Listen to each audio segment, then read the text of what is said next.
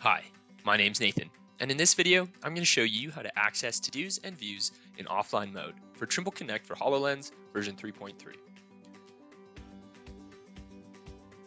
To begin, enter the To-Dos tab, where you'll see all the to-dos associated with your project.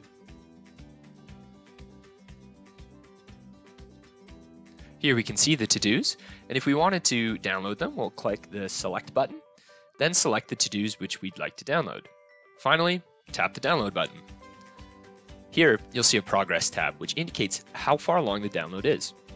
You can minimize this tab or maximize it, so you can easily keep working while the download occurs in the background.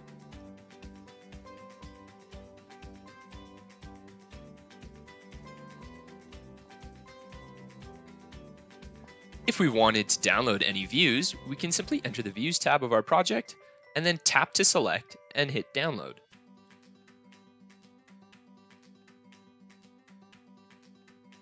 If we want to cancel the download, hit the cancel button.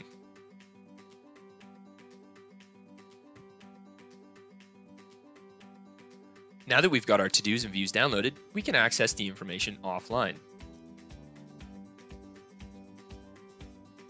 In offline mode, we can choose to launch our models directly or by accessing our to-dos and views. When we tap on the downloaded to-do, we'll be presented with all the information we would normally see online.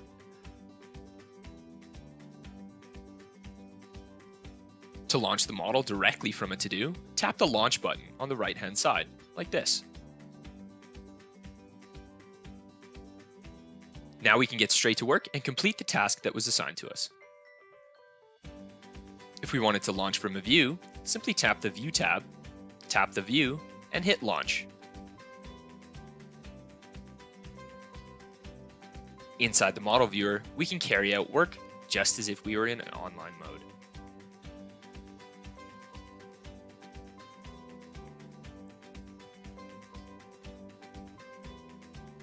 This concludes our video on offline to-dos and views. Thanks for watching.